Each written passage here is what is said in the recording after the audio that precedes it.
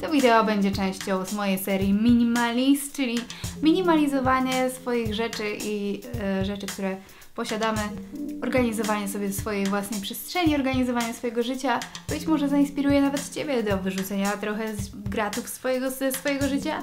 Kto wie? Dzisiaj posprzątamy razem w mojej szafie. Więc przeprowadziłam się do nowego miejsca i przy okazji pozbyłam się wielu, wielu, wielu rzeczy, których nie chciałam już mieć, które uważałam, że są mi niepotrzebne, albo wymieniłam je na, na nowe i nie tylko chodzi o tutaj o ciuchy, też o inne rzeczy, ale o tym kiedy indziej. I tak, to jest moja sypialnia, tak naprawdę nasza. Nadal uważam, że tu jest za dużo mebli, ale już nie można zrezygnować na przykład z materaza. Czy można zrezygnować z materaza? Czy jest to zdrowe dla pleców? Pewnie tak. Obejrzałam trochę filmów e, o minimalizmie na YouTube albo gdzieś tam na Netflixie. I czy nie jest tak, że są one w jakiś sposób mega motywujące i działają pewnie w ten sposób, że idziesz, patrzysz na swoje rzeczy i myślisz, totalnie robię to, jestem teraz bezwzględny i wyrzucę wszystko, co mam. To znaczy zostawię tylko te po potrzebne rzeczy, 10 rzeczy, które potrzebuję. Chcę się spakować w najmniejszą walizkę świata i móc wyjechać gdziekolwiek, gdzie chcę, y, w każdej chwili. I co? Idziesz potem do swojej szafy, wyciągasz jedną rzecz i myślisz, hmm, miałam to raz na sobie, na pewno się jeszcze przyda. Na szczęście ta szafa jest w 30-40% pusta. Moje rzeczy są w tych dwóch szufladach i w tej podwójnej szafie.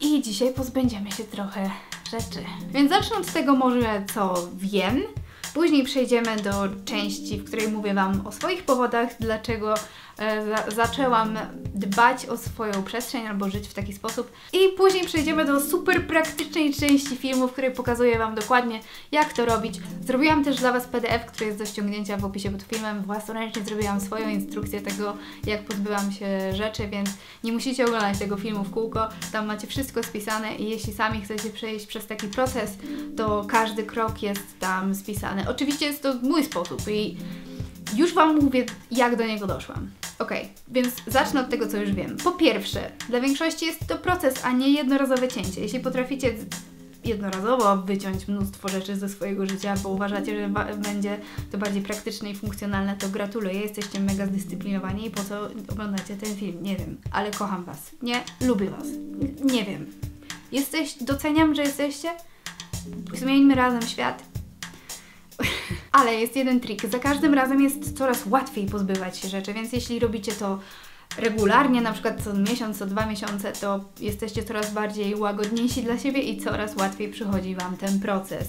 Hint, hint, tutaj mówię do swojego kolegi, z którym rozmawiałam na imprezie, który oglądał mnóstwo, który powiedział mi, że oglądał mnóstwo filmów minimalistów i nigdy się nie zdobył, jeszcze się nie zdobył na odwagę, żeby w ogóle się za to zabrać, więc stary, zainspirowałeś mnie do tego filmu. Mam nadzieję, że Ci pomogę. Okej, okay, dalej. Po drugie, po takim zorganizowaniu swoich rzeczy czujesz się bardzo zdyscyplinowany i to jest lepsze niż jakikolwiek haj. Hej. Po trzecie, wyzwolenie się z kupowania rzeczy to jest przecudowne uczucie i wiem, że niektórzy ludzie kochają zakupy, spoko, niektórzy ludzie e, uwielbiają dobierać sobie nowe rzeczy, to też jest super. Ale e, nieważne, jakie tam masz ku temu powody, żeby zorganizować lepiej swoje życie. Nieważne, czy są to powody moralne, ekonomiczne, czy totalnie egoistyczne, nadal organizując swoją przestrzeń zrobisz dobrą rzecz. Nawet jak masz słabe powody ku zrobienia dobrej rzeczy, nadal zrobiłeś dobrą rzecz. Good. Dobrze. Po czwarte, co oznacza dużo, a mało rzeczy, to rzecz względna, to jest pojęcie elastyczne. Więc wszystkie artykuły, które gdzieś tam są w necie i mają tytuł 12 rzeczy, które powinieneś mieć w swojej kapsułowej szafie, to tylko po to, żebyś na nie kliknął, bo jest przyjemne dla Twojego mózgu, że ktoś wybrał 12 rzeczy jak 12 apostołów, albo 12 miesięcy, albo 12 znaków zodiaku skreśl prawdę. Więc tylko to działa dla Ciebie, powinno Ciebie interesować. Zawsze. Po piąte, każdy ma inny budżet i oczywiście warto jest inwestować w ładne rzeczy, dobre rzeczy, w etyczne rzeczy, w rzeczy, które z, będą na lata, które są trochę droższe, ale wiadomo, że każdy ma inny budżet i na początku najlepiej się skupić tylko zamiast na zamienianiu rzeczy, czy znajdowaniu nowego stylu na nowo, czy whatever, czy czego tam, jak, jakąkolwiek macie motywację, na początku najlepiej się skupić na tym, żeby dbać o rzeczy, które się ma i mieć funkcjonalną przestrzeń. nie, tu nie chodzi o to, żeby iść do sklepu natychmiast i kupować kolejne rzeczy. To jest właściwie przeciwieństwem tego, że, żeby minimalizować rzeczy, które się posiada. Ale jak się już dojrzeje do tej decyzji, to na początku warto jest zadbać o te rzeczy, które się ma. Czyli naprawdę dać, ukazać im miłość. I zobaczyć, czy w ogóle jesteś w stanie się zająć rzeczami, które są droższe, które wymagają tego, żeby się naprawiał, żebyś naprawdę o nie dbał. To, to jest jak takie babysitting. Okej, okay, zaczynamy. Oto moje powody redukcji rzeczy. Powody powierzchowne. Straciłam trochę na wadze i dużo ciuchów nie pasuje, więc out. Zmieniły się też moje upodobania i mój styl organizacyjne powody po przeprowadzce z, zmotywowałam się do lepszej organizacji. Duchowe powody. Mm, ciężki temat, ale świadome wybieranie ubrań sprawia mi jakąś tam przyjemność, ok, ale mm, tak naprawdę dzięki temu, że organizujesz rzeczy, które wydają się do, dosyć powierzchowne, ta organizacja przekłada się na szersze życie, na rzeczy, które są o wiele ważniejsze, więc dzięki temu, że dostrzegasz tego, jak bardzo materialną rzeczą są ubrania, to jesteś w stanie przejrzeć na wylot przez tę warstwę hypu, przez tę warstwę e, konsumpcjonizmu i 52, ile to jest sezonów teraz w sieciówkach i wszystkiego tego, które krzyczy do Ciebie, żebyś coś kupił, żebyś używał zakupów tylko jako głównej motywacji do rozrywki. To, to jak, jak gdy spojrzysz przez to na drugą stronę, to, to nie jest, to są rzeczy, które są o wiele fajniejsze, ważniejsze w życiu, na które warto zwracać uwagę, nad, nad którymi warto pracować i spędzać czas. To, to jest oczywista rzecz. No i powody moralne. Ale ja nie jestem tutaj od moralizowania, więc nie będę tutaj o nich gadać w kółko, więc jeśli jesteście zainteresowani tematem, to będą linki w opisie pod filmem, żebyście się mogli dowiedzieć, ile śmieci jest generowanych i co się z nimi dzieje później i ogólnie co się dzieje w biznesie, w, na rynku e, odzieżowym. To tyle. Każdy ma swoje powody, whatever. Rób co chcesz, ale rób to świadomie albo dobrze. Najpierw wyciągam wszystko z szafy. Zabieram wszystkie te rzeczy do innego pomieszczenia. Najlepiej to tak działa, jeśli nie widzicie tej szafy ze sobą. I segreguję je na rodzaje. Spodnie do spodni, spódnice do spódnic, koszulki do koszulek, osobno bielizna, osobno ciuchy do aktywności fizycznych, osobno zimowe kurtki, sezonowe ciuchy itd. Potem idę umyć szafę, wracam do sypialni, wycieram każdy zakamarek, przeglądam wieszaki, zawieszam zapach z lawendą, który robię sama. Zauważyłam, że robiąc ten krok, czyli mycie szafy, po segregacji ciuchów, w ten sposób odcinam się od wielkości zadania i nie czuję, że mnie przerasta, tak jak e, zdarzało się to w przeszłości. Ok, wracam do pokoju, gdzie są ciuchy i ze spokojnym nastawieniem teraz Czesny casting. Biorę każdą rzecz w rękę i zadaję pytania jak w rozmowie o pracę. I pamiętajcie, jest PDF w opisie do filmu, jeśli chcecie ten cały proces mieć na, przed sobą na kartce, to wszystko tam, tam możecie mieć. Takiej kartce, kto używa kartek, to jest PDF. Ok. Ok, więc biorę każdą rzecz w rękę i zadaję sobie pytanie, jak w rozmowie o pracę, to nie, bo to one nie muszą dostać żadnej pracy. Czy nosiłam to w ostatnim miesiącu? Jeśli nie, czy ta rzecz jest sezonowa? Jeśli tak, to czy nosiłam Cię w ostatnim roku? Jeśli nie, to rzecz ląduje na kupce oddaj, sprzedaj. Te kupce jest świetnym słowem.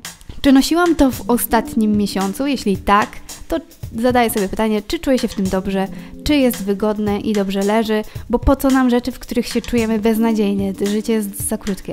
Ok, czy pasuje do mojego aktualnego stylu? To też się zmienia w końcu w, w, ciągu życia. Czy pasuje do przynajmniej trzech lub pięciu zestawów ubrań? Jeśli tak, to zatrzymaj. No i oczywiście warto sobie zadać pytanie, czy ta rzecz jest w dobrym stanie. Jeśli nie, jeśli jest naprawdę stara, to najlepiej wyrzucić tę rzecz albo oddać na tekstylię. A jeśli uważam, że warto to naprawić i zrobić przeróbki, to ta rzecz ląduje na kupce naprawić. Napraw.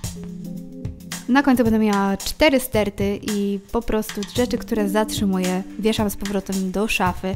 Ja lubię wieszać według gradientu. Jest to bardzo przyjemne dla oka, żeby powiesić rzeczy od najciemniejszej do najjaśniejszej albo według koloru, jak uważacie.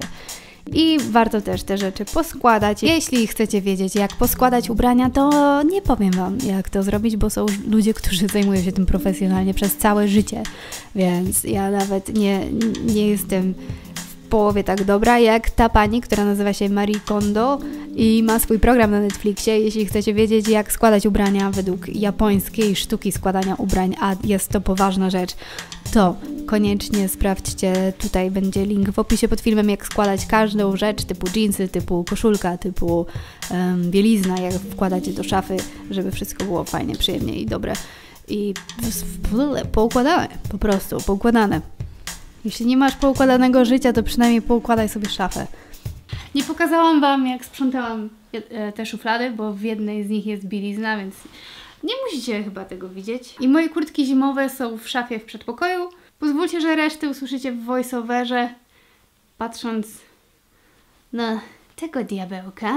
Aniołka, przepraszam. I teraz ostatnia część. Co zrobić z nienoszonymi ubraniami? Ok, możecie znaleźć sklepy, a jest ich coraz więcej, które zbierają odzież i tekstylia i często przyjmują każdy rodzaj odzieży, tekstylia domowe, buty, nawet uszkodzone rzeczy, tylko pod warunkiem, że są suche i w miarę czyste. Warto sprawdzić, jaką politykę przyjmowania ciuchów mają poszczególne sklepy, bo niektóre mają swoje pojemniki na torby dostępne przez cały czas, niektóre zbierają ubrania tylko ze swoimi metykami albo zbierają je sezonowo. Co się później z nimi dzieje? Dzieje. Zebrane tekstylia transportowane są w jak najmniej szkodliwy dla środowiska sposób, według niektórych marek, do sortowni tekstyliów. Tam są sortowane w zależności od tego, czy mogą być ponownie użyte, poddane recyklingowi, czy też odzyskane w postaci e, energii cieplnej. I z informacji, które znalazłam, wynika, że ponad połowa nadaje się do ponownego noszenia, mniejsza część idzie na recykling, a bardzo mały procent odzieży, której nie da się ponownie wykorzystać, wędruje na spalanie w celu uzyskania energii cieplnej. Można też te ciuchy oddać do second handu, ale upewnijcie się, że ten akurat second hand, który macie na oku, przyjmuje ubrania, bo często second handy mają swoją własną politykę i ja się kilka razy przejechałam na tym, że nie przyjmowali moich spoko ciuszków. Ubrania można y, zanieść do kontenerów przeznaczonych właśnie do zbiórki odzieży, na przykład do Czerwonego Krzyża. Oczywiście można też te ciuchy sprzedać, jeśli macie coś cennego, coś fajnego, albo coś nienoszonego, coś z metkami, albo uważacie, że ta rzecz nie powinna pójść gdzieś indziej niż, do, niż za hajs, no to są portale dedykowane właśnie do takiej sprzedaży. Jest też oczywiście Allegro. Są też przeróżne kiermasze, przeróżne targi, e, gdzie można się ciuchami powymieniać. Wiem, że są takie grupy na Facebooku, to też jest git. Też spoko, chociaż tego nie robiłam jeszcze w swoim życiu. Dobra, okej. Okay. E, tak wygląda teraz szafa. Finalnie, not bad. Jestem jakby w połowie drogi cały czas jestem w połowie drogi, ale chyba tak jest już w życiu, po prostu jesteś cały czas w połowie drogi, gdzie chcesz dotrzeć. I na szczęście jest tak, że mój styl się klaruje, jestem coraz bardziej, czuję się coraz bardziej komfortowo z tymi ubraniami, które mam, że jak otwieram szafę, to nie mam stanu paniki, że a, nie mam co na siebie włożyć, tylko okej, okay, szanuję się teraz, widzę, że osoba, która siebie szanuje, zrobiła to dla siebie.